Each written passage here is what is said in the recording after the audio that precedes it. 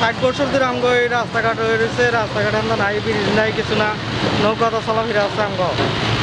আমরা খুব কষ্টতে আছি। আমগো এমপি মাননীয় প্রধানমন্ত্রী আমাদের খেয়াল করা চায় না রাস্তাঘাটে। এখানকার ইয়া ওই প্রতিনিধিদের বলেননি আপনারা? আমগো প্রতিনিধির কাছে এই সপ্তাহ সপ্তাহে ছবি উঠায় নিয়ে যায় কিন্তু আসলে কিন্তু কাজকর্ম করতেছে না খালি কেন মা বোন যদি ডেলিভারি হয় তো কষ্টর মধ্যে হয়। না হাসপাতাল নাই হাসপাতাল নাই। তা আপনি আপনি ব্রিজ দিয়ে যান না? মানে এই বাসের ব্রিজে যাইতে হয় না নৌকা যাইতে হয়। নৌকা দিয়ে যান। হ্যাঁ ব্রিজটা আজ থেকে প্রায় বিশ বছর আগে কাজ শুরু হওয়ার কথা ছিল বাট এখনও হয় নাই। আমাদের নেতাকর্মীর কারণে। এটা পরে কাজ হয়েছিল বাট ওই প্রপারলিভাবে হয়নি ওই কারণে আছে আপনার পিলার কার আছে। আচ্ছা।